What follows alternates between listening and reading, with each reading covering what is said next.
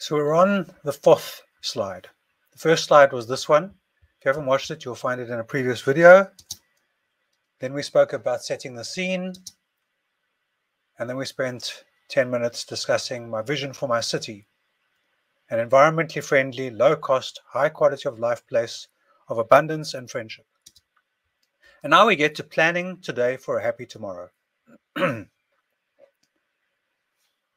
now, people tell me I'm lucky, but you know, there's that expression the harder I work, the luckier I get. Gary Player said that.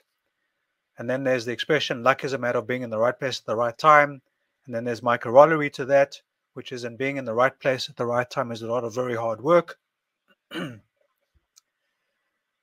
need to plan today for a happy tomorrow. We have to, in the previous slide, you saw that if we look at all of our costs together, not one at a time, we can have a happier tomorrow. We can predict the future.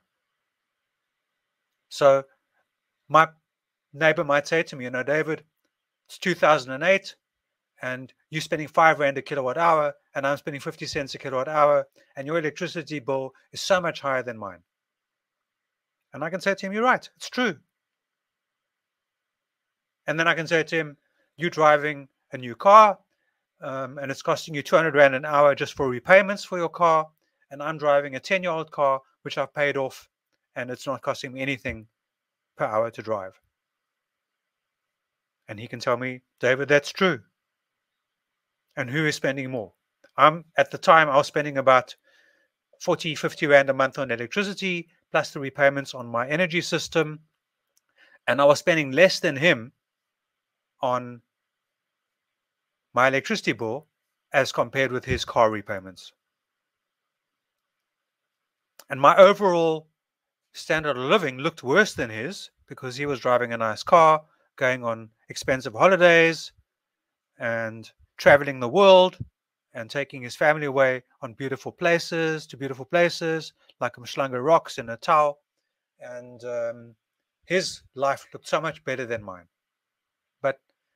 My planning was about having a cost of living that's going down all the time, as you saw in the previous slide, a quality of life that's going up all the time, a health situation that's improving all the time, my environment, which is getting cleaner all the time, my health, which is improving from a food point of view, from a drinking point of view, from a breathing point of view, and from a consciousness point of view.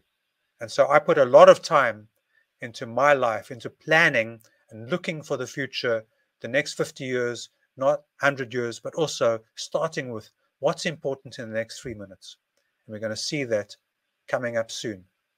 So I wish you many blessings, and I wish that you look at your overall cost of living and your overall quality of life, and you don't look at one variable at a time. If you only look at one variable at a time, then in a business you might say, well, you know, the sales department is important because they make money and therefore we pay the salespeople lots of commission, but actually it's the engineers who come up with the fantastic ideas. And then you pay the salesman a huge commission for making the sale, but actually that commission should go to all the people involved in that sale, which happens to include the engineers who created the drawings that allowed the widget to be built. Think about the overall situation, whether it's in your business, your private life, and then plan today for a happy tomorrow. Good night. Many blessings.